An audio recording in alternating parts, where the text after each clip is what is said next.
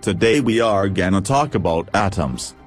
Atoms are the smallest unit of an element that maintains the properties of that element. A Greek philosopher named Democritus thought that if a particle was really small you would not be able to cut it any smaller. John Dalton was a British chemist that wanted to know why. He tried to combine more and more elements. He published his atomic theory in 1803. And that's how the cookie crumbles.